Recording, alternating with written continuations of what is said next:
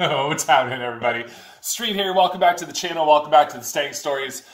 Having a good night, man. Just drinking some beers. Thought I'd come out and uh, have a little discussion with you guys. Some of you guys uh, really enjoyed the last episode of Story Time with Street. So I had some stories for you, and I thought I would share once again. Grab a beer, smoke them if you got them.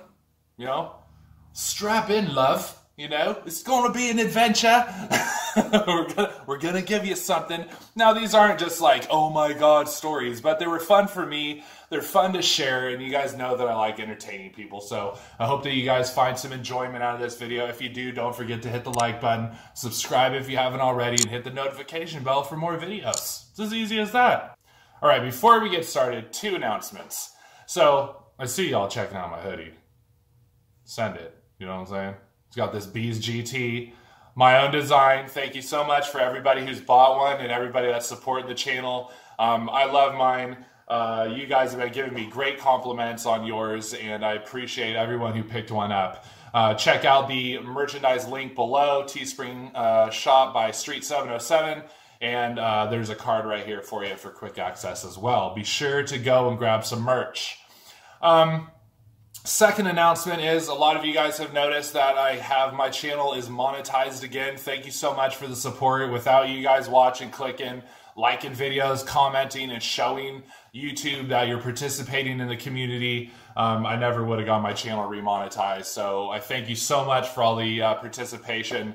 Um, you know, my family appreciates it. You guys are allowing me to earn an extra six and a half dollars a month off of my videos again. Impressive. So, uh, six pack, baby. Six pack on you guys.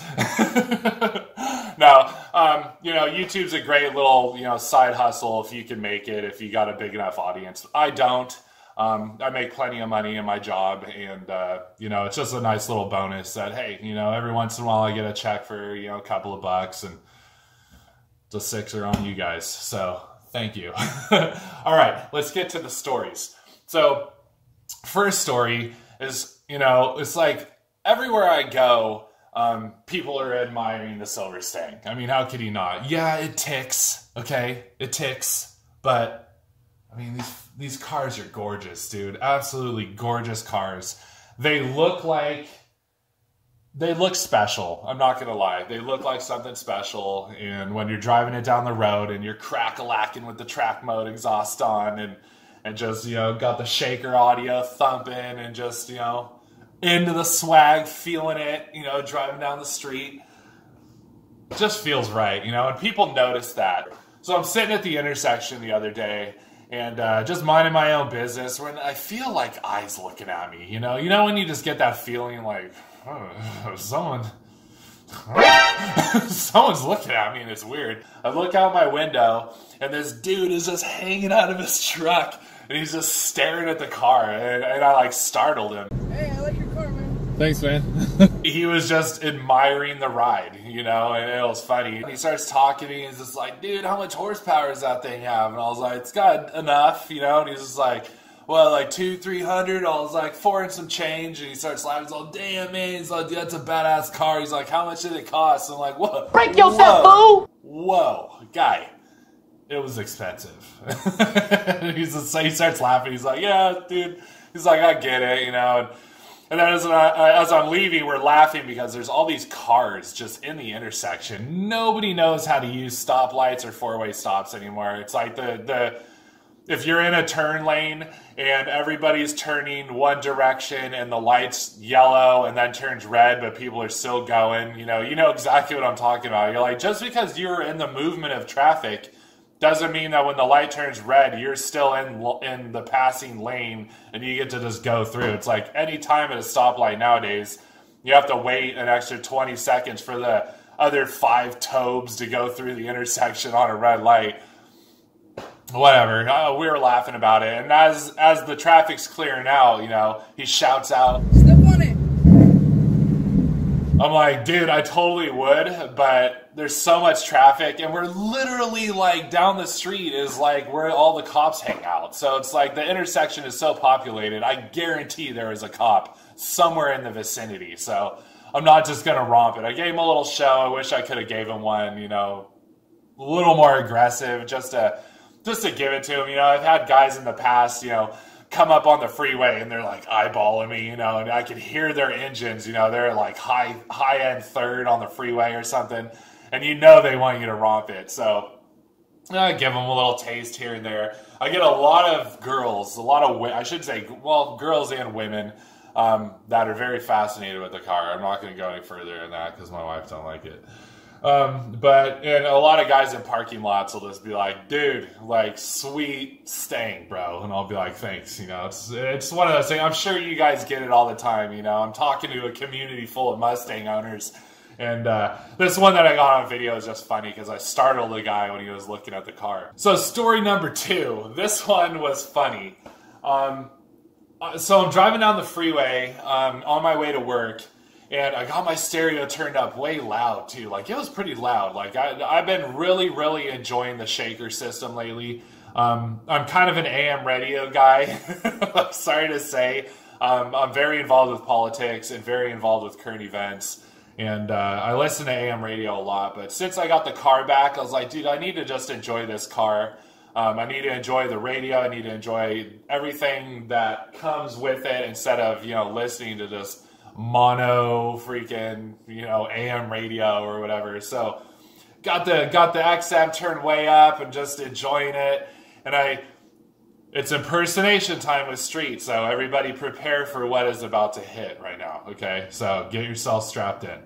I'm, I'm driving along, listen to the radio, and I hear in the back over the radio, over the top of it, I hear, "Whoa!"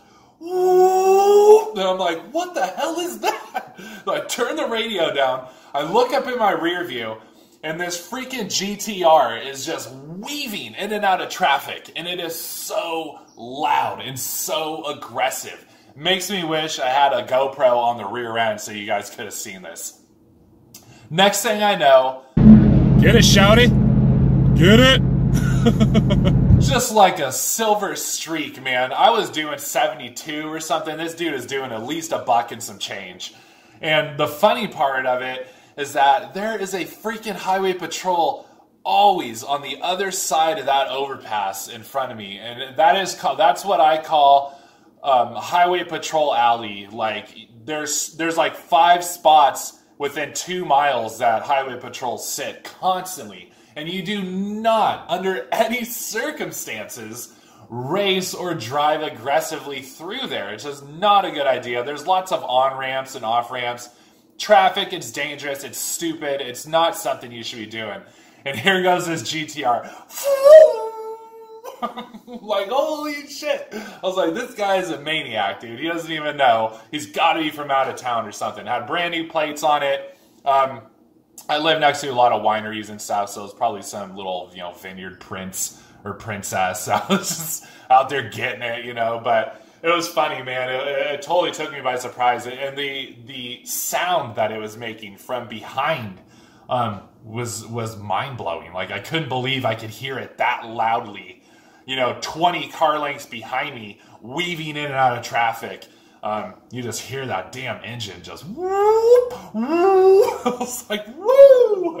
It was pretty badass, dude. I'm not gonna lie. And the first thing that went through my head was, dude, here is my chance to race a GTR. Yeah, I'm gonna get spanked, but I mean, how many chances do normal everyday guys that don't live in LA or freaking, you know, San Jose get? to you know race a GTR. I mean, you see them on the roads, you know, but you don't see them all the time. It's not like Houston or Dallas where they're just mashing constantly. You know, it's like all the car videos I watch, high end car videos. You know, it's like they're everywhere. But you know, in my area, you don't you don't see that every once in a while. You see Ferraris, Lambos. You see a lot of uh, some of the tech giants with cars, and you see like vineyard owners, big winery people that have you know supercars and stuff, but you know, they all drive them at 55 miles an hour in the slow lane and they don't ever open them up anyway. So it was a cool thing to see anyway. It was, it was fun. It was a fun thing. So, third and last story, which was pretty funny. Um, I'm driving home from work one night and I hear this, the same as like the GTR. I hear this, and and I'm, I'm like, what the hell is that? So I turn my radio down and I look at my rear view and I see I see headlights come in and they're coming pretty quick. Like it was aggressive. It wasn't just like somebody trailing up. It was it was aggressive, and uh, switches over into the fast lane. And as he's creeping up by me, you guys know the placement of my camera is basically just a dash mount. I'm working on getting like a GoPro, um, something that I can do like maybe some um, some POV videos or something that I can like have accessible when like somebody comes up um, and I need to get different angles and things. Um, but haven't gone there yet. So I hear him coming up, and I look over, and it was had some super loud exhaust, dude. He, he was just ba ba ba. He's crackling, popping, and comes he comes flying up on the side of me, and then kind of coasts it out. Gives me a couple little revs as he's like driving past, and and then he starts kind of coasting in front of me, and I'm like, dude, does this guy want it? Like, does he does he seriously want it right now? So I'm just kind of I'm kind of pacing him and watching what he's doing. Um, he drives further. He kind of speeds up. He, he, you know he didn't like stomp on the gas or something, but he speeds up, and every underpass or every overpass he's going underneath, he's firing on his exhaust. You know, you hear it, you can hear it way down the road. And I'm like, dude, that thing sounds kind of nasty. So I'm like, maybe he's trying to trying to get my attention, get me, you know. I mean, I, I noticed him when he came up on me so aggressively in the first place, firing on his exhaust.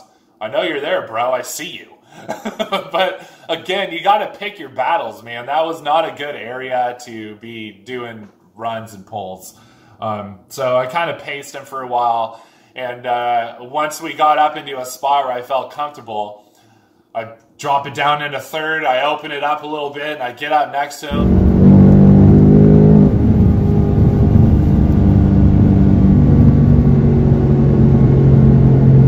And as I as I roll up next to him, I start slowing down, uh, or not slowing down, but I start coasting out. And I'm looking at him in the window, and I'm just like, "You "Want to run him? You want to run him?"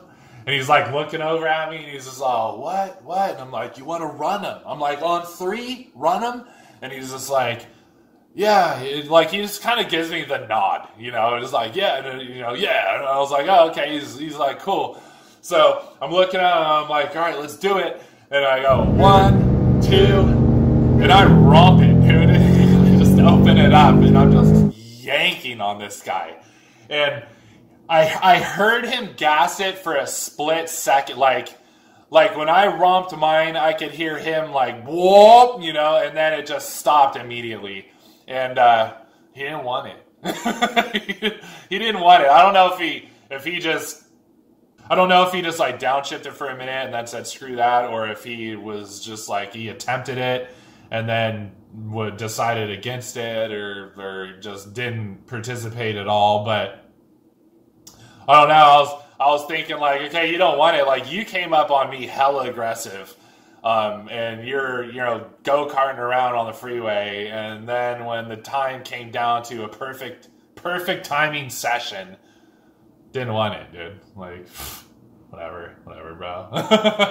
like, I haven't had too many opportunities. I find that a lot of people are intimidated by it. I don't know why. Um, Hondas Hondas in general are constantly firing on me. The the the whole hype around uh, Hondas messing around with Mustangs is so true. Like, dude, every Honda I pass that has a fart cannon on it is revving on me. And then uh, when it comes down to like, dude, you want some sauce? Like, they don't want sauce. they just give you the thumbs up and they're like, no, we're cool. Older vets generally want it a lot. I get a lot of older vets. I've never got one on camera.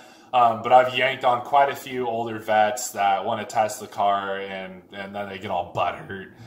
they, they give you stank face and then do the flyby, and you're like, whatever, bros. you know, and then and then you get the other guys that are just in you know every everyday vehicles that just kind of come up to you and and they kind of throttle on it just to get you to open it up a little bit. And I'm totally down for those because I'm the same way. Um, you know, like I said, when I see vineyard um, winery owners or tech guys that are driving around in Ferraris, Maseratis, you know, uh, Lambos and things, I might give them a little sauce just to get them to open it up and And generally they don't, but every once in a while you get that one guy that just like, oh okay, you're just like yeah, just you see the rear end just slap to the ground and bah!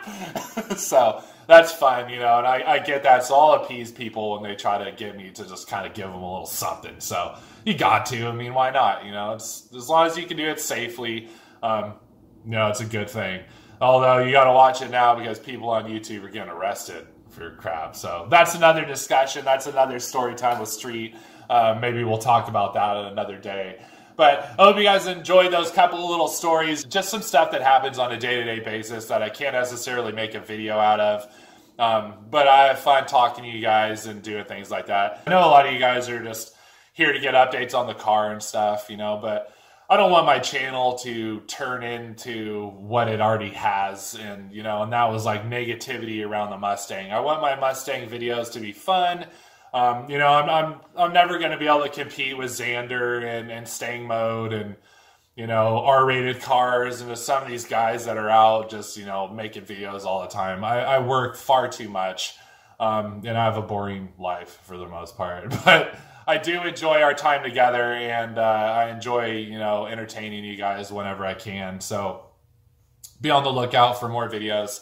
And don't forget to once again pick up some merch, baby, because it helps support the channel. It's going to help me buy a new camera. It's going to help me get some new gear and show the wife that uh, you know I can make a little side money doing some fun stuff with you guys. So hope you guys enjoyed this. Don't forget to like, subscribe, hit that notification bell if you haven't already.